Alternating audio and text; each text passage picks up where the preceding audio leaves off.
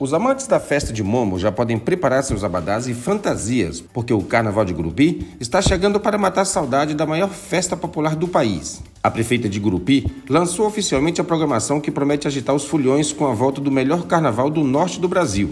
As atrações foram divulgadas na segunda-feira.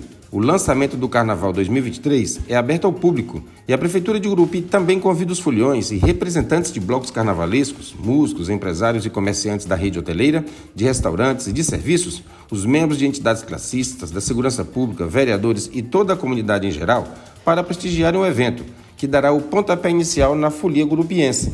A gente pretende fazer uma comunicação forte para que a gente possa atingir o maior público possível, porque Gurupi é o melhor carnaval do norte do Brasil, ele precisa ser bem divulgado. Então, nós vamos chegar ao estado de Goiás, vamos chegar ao Distrito Federal, o estado da Bahia, o estado do Maranhão e principalmente o estado do Tocantins, prestigiando a nossa imprensa local, prestigiando a imprensa de Gurupi e prestigiando também a imprensa do estado do Tocantins. Com certeza, nós vamos levar essa mensagem de Gurupi para os arredores aqui da nossa região, para trazer o maior número de visitantes, de foliões possíveis aqui para a nossa cidade.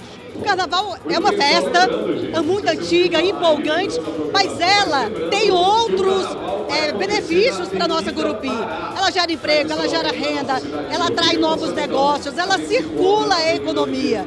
Então ela é muito importante para os nossos músicos locais, para a nossa rede hoteleira, para os bares, para os restaurantes, para a economia local. Então ela vai muito além de só a festa, de só a alegria. Ela também traz riqueza.